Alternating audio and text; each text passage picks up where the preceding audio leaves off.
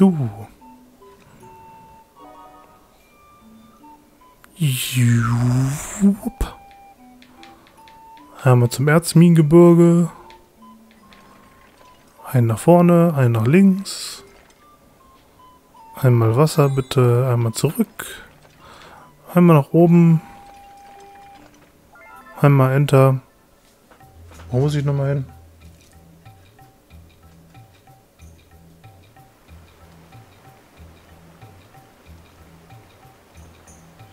Hm. Pilzwald am Jäger. Der ist doch hier links gleich, ne? Achso, was wir jetzt erstmal wieder sammeln können, ist hier vorne unser Item, was hier rumliegen sollte. Da, da, da, da, da, da, da, da, Eisen, so. Und vielleicht haben wir jetzt Geld hierfür. Du bist Schmied, du kannst mir die Kämpfer, will ich nicht, ich möchte die Meisterwaffe haben. Herstellen, jawoll. Die Kämpferwaffe ist nämlich schlechter, guck mal, wer da steht. Hardy, die lange Suche nach dem Tau der Myrrhe ist eine Probe, die uns auferlegt wurde. Doch die jungen Karawanen werden schon bald diese Probe bestanden und eine frohe Zukunft bringen. Das Knacken war nebenbei bemerkt hoffentlich nicht zu hören. Also jetzt, wo ich es erwähnt habe, werdet ihr wahrscheinlich darauf achten und nochmal zurückgehen. Und jetzt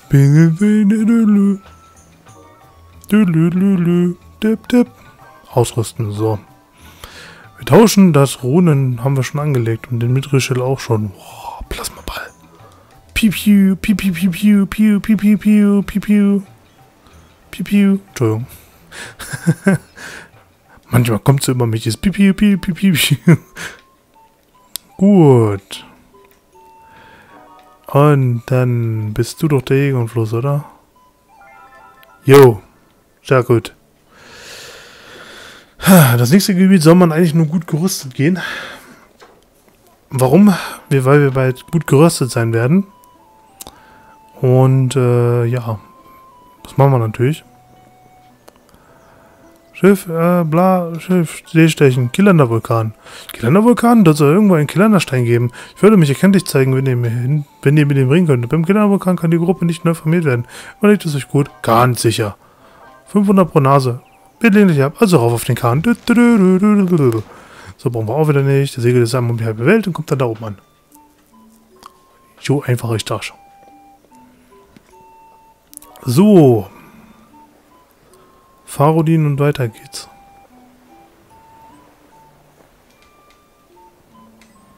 Das kann man leider nicht skippen, das ist das Problem. So, ein einsamer Vulkan, unsere erste Anlaufstelle im Jahr 4. Wir werden es brauchen.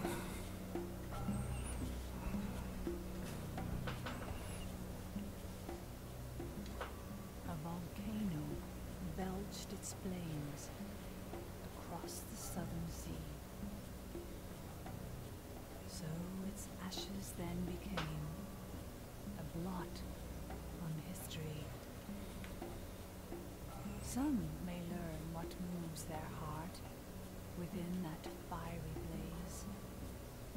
Journeys that they long to start beyond the shadow's gaze.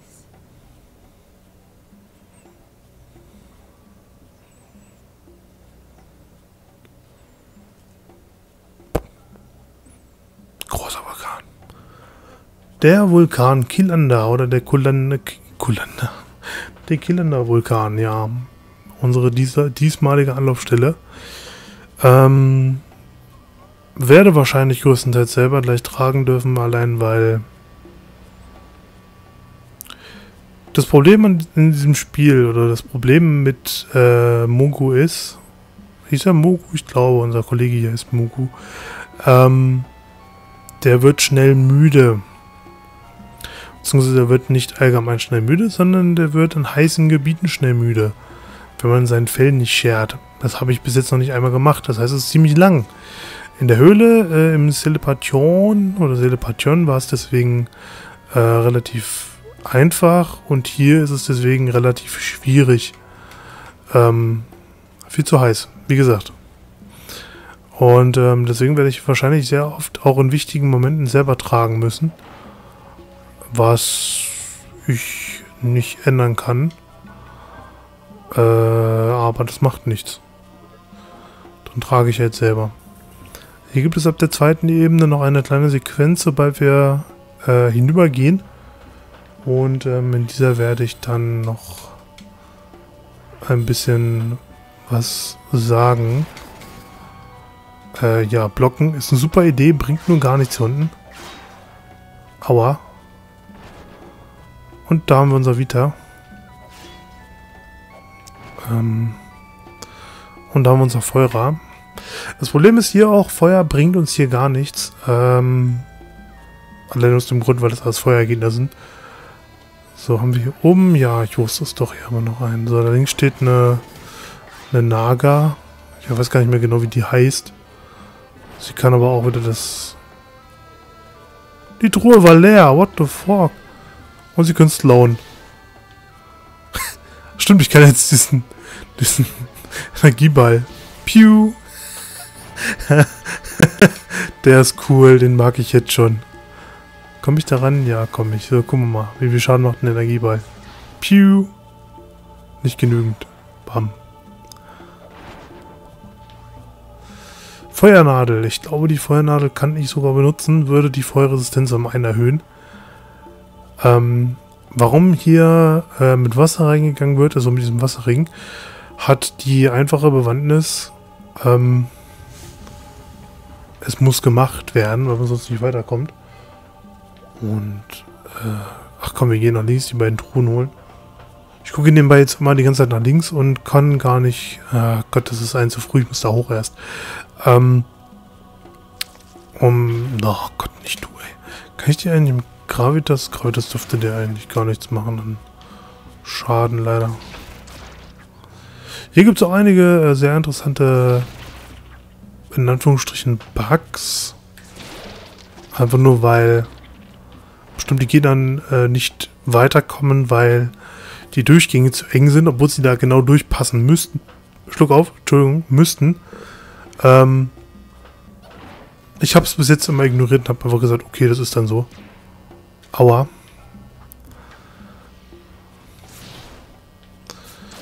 Ach Gott, du kannst mich mal, ey. So, danke. Wow. Don't hit me. Was haben wir hier noch? Eine Feuerplatte. Wäre sogar eine Feuerrüstung. Kannst du mal sehen. Beziehungsweise keine Feuerrüstung, sondern... Ähm, ne? Weißt du Bescheid ein Feuerschild mit Feuerresistenz. So. Weiter geht's. Oh Gott. Mit dem habe ich gerade gar nicht gerechnet. So, hier die beiden zusammen kann man zum Beispiel auch ziemlich gut festhalten. Wenn man sieht, der vorderste greift an, der hintere kann nicht angreifen.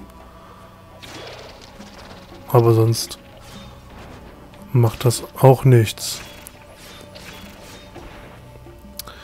Die machen immer noch Schaden ohne Ende, weil ich natürlich nur die, äh, die Dings habe.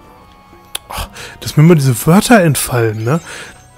Das ist schlimm. Das ist echt schlimm. Mir entfallen andauernd diese wichtigen Wörter, die man wirklich braucht.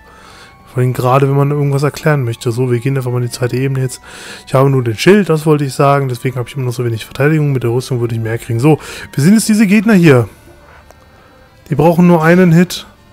Davon gibt es drei Stück. Wir werden jetzt alle Gegner ignorieren hier und ähm, werden uns so schnell wie möglich es geht zum zweiten begeben. Ähm, einfach weil ich gerne mindestens zwei davon gerne weg hätte. So, der zweite müsste... Komm schon! Oh, komm schon! Komm schon!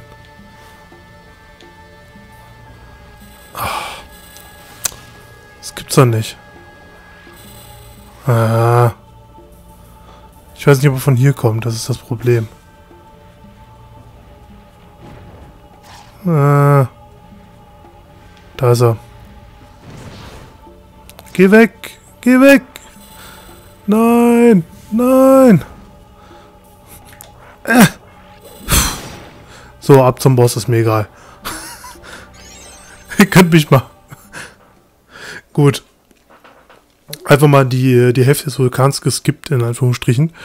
Ähm, und zwar sieht man jetzt gleich die Sequenz hier, in der der Boss da sitzt. Das ist der Eisengolem, glaube ich. Heißt der Eisengolem? Der heißt, glaube ich, Eisengolem. Eisengigant. Der hat ein Schwert und dieses Schwert macht Schaden.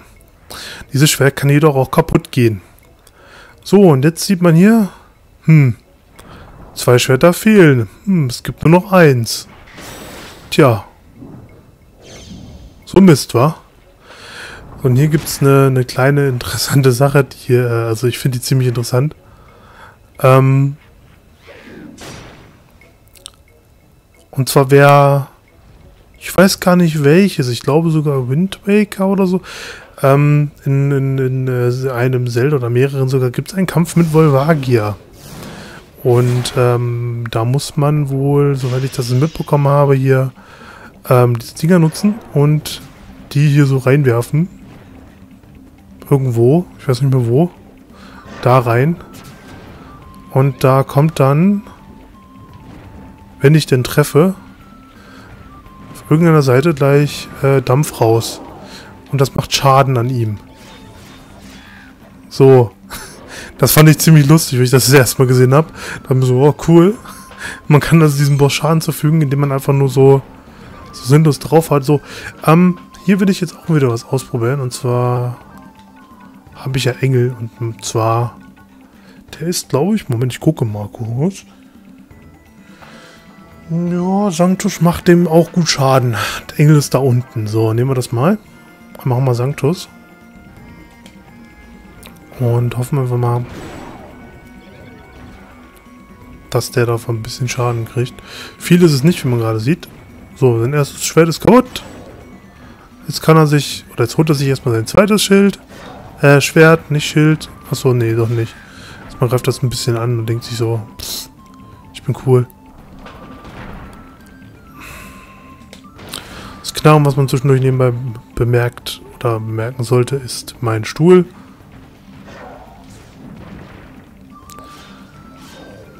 Ich glaube, ich hoffe normal drauf, das macht mehr Schaden, weil ich zu wenig Magie habe. Wie gesagt, wenn man da mehr Magie hätte, wäre das bestimmt ziemlich interessant zu sehen, wie viel Schaden das macht. Aber da habe ich leider einfach zu wenig für. Wie man sieht oder gesehen hat, mache ich äh, mit normalen Angriffen bei weitem mehr Schaden. So, jetzt sollte ich mich langsam mal heilen, sonst gibt er mir doch ganz schön ins Gesicht. So, schöne Dreier-Kombo. Und dann bewegen wir uns mal kurz ein Stück. Heilen. Der kann noch ein paar andere Angriffe, die hat er jetzt aber nur einmal gemacht bis jetzt. Ähm, wie zum Beispiel einen, Angriff, in dem er einen verfolgenden, glaube ich, sogar Angriff hat. Das ist ganz schön knapp gerade. Ich habe eine Phoenix-Feder drin, ja. Der kann man auch ausweichen, indem man weit rechts steht. Der kann man ausweichen, indem man nicht vor ihm steht.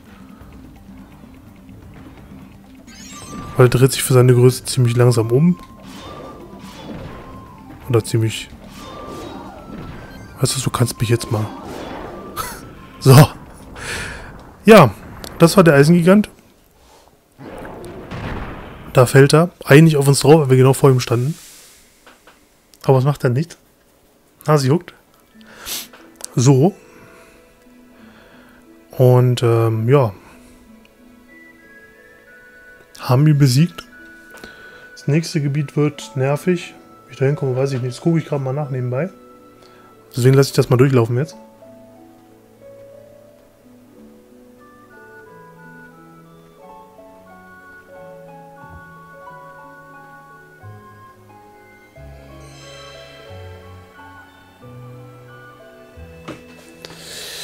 Ja, da freue ich mich schon drauf. Oh ja, das nächste Gebiet wird lustig. Ich bewege mich gerade dem Stuhl ein bisschen nach hinten, um mich anders hinzusetzen. So.